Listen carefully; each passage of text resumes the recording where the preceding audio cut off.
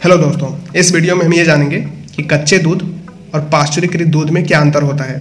देखिए, कच्चा दूध सीधे गाय, भैंस, बकरी, भेड़, ऊँट या किसी अन्य दूध देने वाले जानवरों से आता है। यह उस प्रकार का दूध है जिसका कोई उपचार नहीं किया गया है। पाश्चुरीकरण एक उष्मा उपचार प्रक्रिया है जिसमें किसी तरल पदार्थ को एक निर्धारित समय के लिए एक विशिष्ट तापमान पर गर्म करना शामिल होता है, ताकि उसमें मौजूद किसी भी हानिकारक बैक्टीरिया को मारा जा सके और प्रोडक्ट की सेल्फ लाइफ को बढ़ाया जा सके। इस प्रक्रिया का नाम लुई पास्चर के नाम पर रखा गया, जिन्होंने उन्नीसवीं शताब्दी में इस तकनीक को विकसित किया था।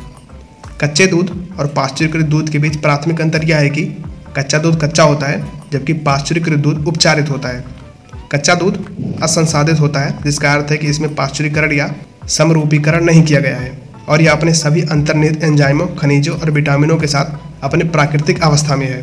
सरल शब्दों में बैक्टीरिया और अन्य दूषित उत्पादों को मारने के लिए इसका ताप उपचार नहीं किया जाता है।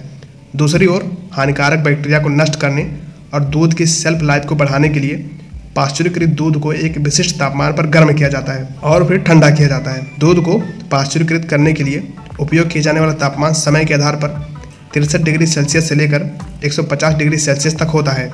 क्योंकि कच्चे दूध को पहले से उपचारित नहीं किया जाता है, इसीलिए इसमें ई. कोली साल्मोनेला और लिस्टोरिया जैसे हानिकारक बैक्टीरिया होते हैं। ये बैक्टीरिया गंभीर बीमारियों का कारण बन सकते हैं, खासकर छोटे बच्चों, गर्भवती महिलाओं और कमज़ोर प्रतिरक्षा प्रणाली वाले लोगों में। वहीं पाश्चुकृत दूध को बेहतर माना जाता है, क्योंकि यह कच्चे दूध में मौजूद हानिकारक बैक्टीरिया को मारता है और इसे उपभोग करने के लिए सुरक्षित बनाता है। बाजारों और दुकानों में उपलब्ध दूध पाश्चुरीकृत होता है। ऐसे कई घर हैं, खासकर भारत में, जहाँ लोग सीधे दूध वाले से कच्चा दूध खरीदते हैं। हालाँकि कच्चे दूध को अक्सर सेवन से पहले भारत में आमतौर पर उबाला जाता है। पाश्चुरीकृत दूध के पोषण मूल्य को प्रभावित नहीं करता है, लेकिन यह इसके स्वाद और बनावट को थोड़ा प्रभावित कर सकता है। कुल मिलाकर, कच्चे या पाश्चुकृत दूध का सेवन करने का निर्णय व्यक्तिगत पसंद और जोखिम सहनशीलता पर निर्भर करता है।